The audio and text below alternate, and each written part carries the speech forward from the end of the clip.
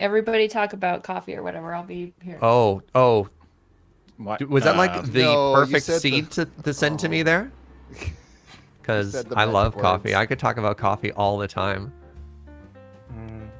And he does. Yeah. Uh, there's actually a challenge here for me to give any strong or controversial opinions about coffee.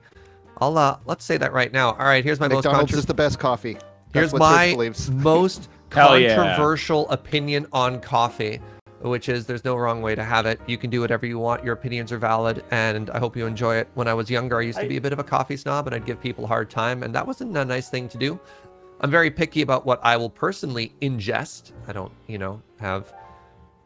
Life is too short for bad coffee, but whatever you do is valid, so you enjoy.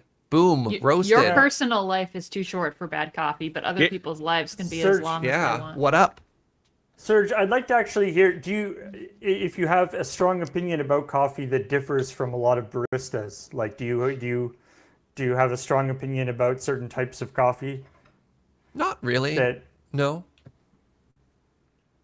I, I I hate to say that. Yeah, you know, uh, a lot of people are trained to a relatively similar professional standard, and at that point, I think at you know once you're making things at a certain level, everyone's doing about the same thing. You're just like, well, I believe a traditional cap. I mean, most arguments you get into is like, what's a macchiato?